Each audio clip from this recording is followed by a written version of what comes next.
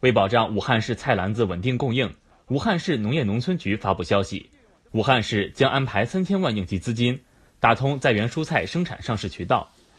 支持抢播快生菜，鼓励广大业主于二月底前完成抢播快生菜十万亩，确保今后一段时间菜篮子有效供给不断档。二月十八号上午，记者探访了位于武汉市东西湖区的一家快生菜种植基地，在八百亩蔬菜大棚内。工作人员正在进行第二波快生菜播种，自动化的浇灌系统也全部开启。当天，新鲜蔬菜的采摘工作也在紧锣密鼓地进行。据了解，从一月十八号开始，为保障全市菜篮子稳定供应，该合作社全体两百名员工全部到岗，采摘、分拣、包装、运输，统一调配，井然有序。仅用半天时间，在武汉市的许多超市和社区门口就能够采购到当天的新鲜蔬菜。从去年腊月二十十五的，我们的工人呢都是满负荷的运行。本来一天八个小时的，加班加加点十二个小时，十二个小时，包括大年初一，工人们都没有下班，都没有回家团聚，特别辛苦。因为遇到今年一个特殊年代，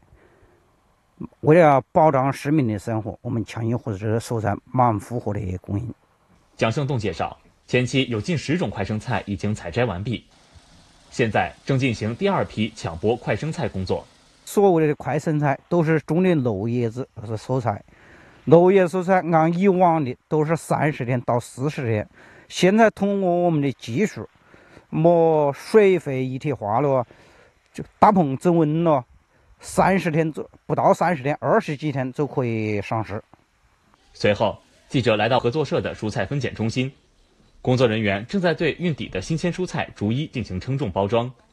分拣中心的另一侧，还有专员将现场的多种蔬菜做成套装蔬菜。现在供的品种基本上我们的所有的品种都有了，基地里面呢有的蔬菜都供上去了。再加上我们还有一部分那个，比如说辣椒、黄瓜、这个豆角、豌豆角，这个是由我们在白沙洲农贸市场调剂回来。据介绍。这种套装蔬菜是在近十种快生菜中挑选五种，以总重量十五斤一包的形式批量运送到每个小区。一包里面就五个单品，五十块钱，一包的重量是十五斤，确保十五斤重量送给每一个小区的那个大门口，由他们的那个下订单的负责人来给我们对接，我们放到那边去之后，他们再送到每家每户去。据武汉市农业农村局相关负责人介绍。三千万元应急资金主要是为应对三月份应季蔬菜上市的空档期，保障蔬菜持续有效供给，将分别用于在园蔬菜储备补贴、